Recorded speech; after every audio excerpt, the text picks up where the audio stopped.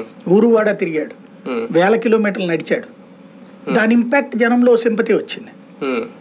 అలాగే అప్పుడు జగన్మోహన్ రెడ్డి ముందు ఈ యాత్రలు చేసేవాడు. అయితే వెహికల్ యాత్రలు ఆ తర్వాత తను ఓడిపోయాడు రెండు వేల పద్నాలుగు కానీ ఇక మళ్ళీ ఎవరో ఒకళ్ళ వెనకాల ఎక్కి కూర్చుందాం అనుకోలే లేదా బీజేపీతో కలిసి వెళ్దామని అనుకోలేదా? Hmm. లేదా కమ్యూనిస్టులు అతని వెనకాల వెళ్ళడానికి సిద్ధంగానే ఉన్నారు. కానీ ఆ రోజు నా పని చేయలేదు.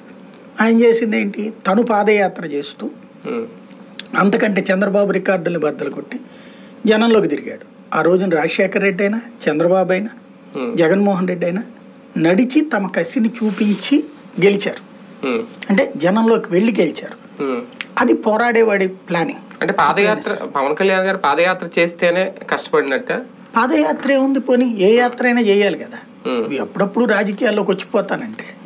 సీజనల్ పొలిటీషియన్ ఎన్నాళ్ళు ఆయన పడిన కష్టం? ఒకవేళ ఆయన విపక్షంలో ఉన్న ఉద్దానం కిడ్నీ బాధితుల కోసం చేసిన పోరాటం ఆక్వా రంగం కోసం చేసిన పోరాటం కౌలు రైతులకి ఇంటింటికి కుటుంబానికి లక్ష రూపాయలు ఇచ్చిన పోరాటం.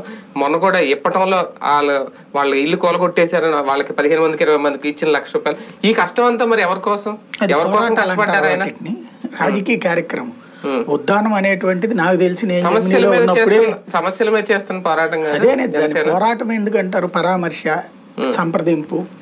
లేకపోతే ఒక కార్యక్రమం. పోరాటం అనరు వాటిని. పోరాటం అంటే కదలకుండా కూర్చుని తేల్చుకోవటం. కేసీఆర్ తెలంగాణ ఉద్యమం సందర్భంగా చేసిన నిరవధిక పోరాటాలు. లేదా చంద్రబాబు నాయుడు పాదయాత్ర అనేటువంటిది అదొక పోరాటం అంటారు. రాజశేఖర్ రెడ్డి పాదయాత్ర అనేది ఒక పోరాటమా లేకపోతే ఆరాటమా. ఆరాటంతో కూడిన పోరాటం. అంటే